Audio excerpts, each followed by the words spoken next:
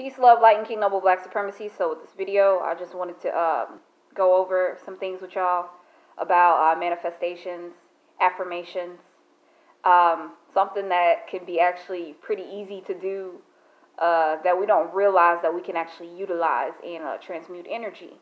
So um, have you ever said to someone or said in your mind, I'm going to do this, whatever that may be, A, B, C, D, and then uh,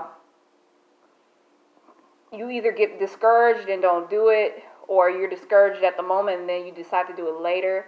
Well, I'm here to tell you to not beat yourself up because either way you win. Because when it comes to manifestations and when it comes to mantras and um, speaking what you want and what you need into existence, it um, will it will um, eventually manifest.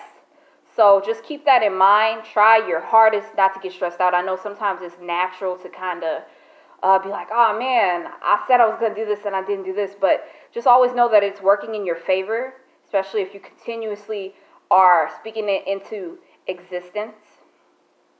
So um, just try not to beat yourself up too much if you uh, set your day and plan your day a certain way and doesn't go the way that you want it to. Just take it as uh, it, it's a mantra and you are still putting it in manifestations.